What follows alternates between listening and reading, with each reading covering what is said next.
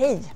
Imorgon så ska vi ju öppna simhallen och idag tänkte jag bara kolla lite hur det går så att allt är klart imorgon. Så häng med ska vi se hur det går för våra medarbetare. Hej Christer! Hej! Nu är det bara en dag kvar. Hur känns det?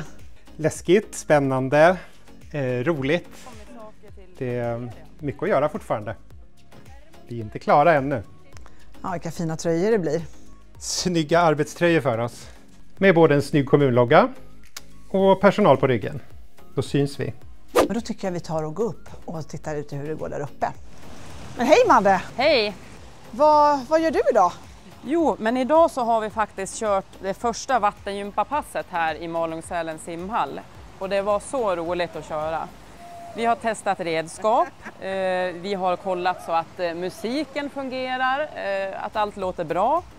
Vi har även pratat om hur man lägger ihop ett pass, alltså hur man väljer musik och vart vi ska stå i bassängen. Alltså både praktiska och tekniska saker. Vi har hört att det är många som längtar efter vattengympa. Ja, alltså jag är så taggad på att starta. Alltså det kommer bli så roligt. Ja, Du är ansvarig för babysimmet också. ja precis. Hur, hur många barn är det som har ansökt om att få en plats där då? Ja, alltså jag tror att det är ungefär 90 barn så att intresset för baby och minisim, alltså det är stort och det är så roligt att se. Ja, vi håller på att planera nu för grupper och så. Så har vi ju simskola ska vi snart starta och skolsimmet är ju på gång. Ja, ja. Två kommer vi igång med det. Ja, vecka 42 startar skolsimmet är det tänkt och eh, ja, även eh, simskola på kvällstid kommer också igång så småningom. Ser du fram emot imorgon? Ja, det gör jag. Men nervös. Ja, det ska bli roligt att komma igång och liksom få göra lite praktiska saker och det vi har lärt oss och så.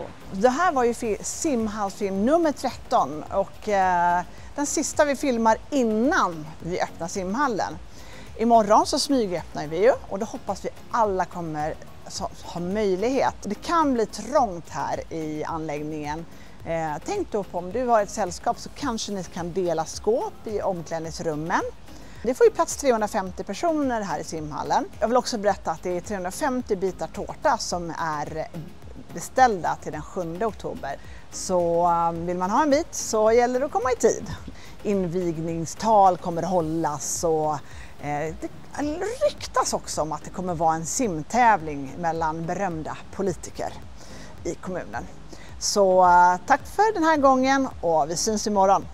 Hej då!